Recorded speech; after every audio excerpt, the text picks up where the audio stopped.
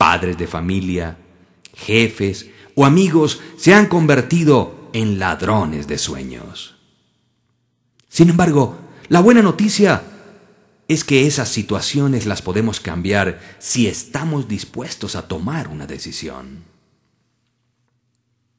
Recuerdo en este instante al gran Michael Jordan, quien dijo, Cuando me quitaron del equipo de mi escuela, siendo estudiante de secundaria, aprendí algo.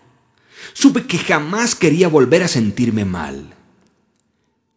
No quería volver a sentir ese mal sabor en la boca, ese vacío en mi estómago. Así que me fijé como meta llegar a competir en la universidad.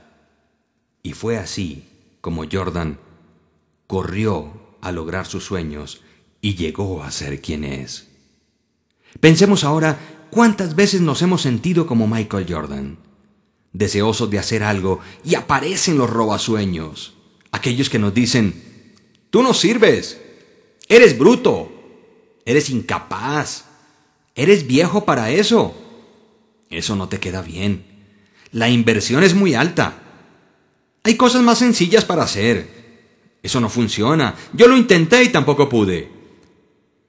Tengo un amigo que estuvo en eso y fracasó. Eso es muy difícil. Esos productos no sirven. Ese negocio está probado que no funciona. Es que aquí la gente es distinta. Eso le funciona al que tenga tiempo.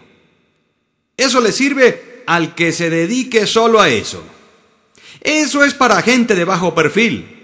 Eso es para gente con alto perfil.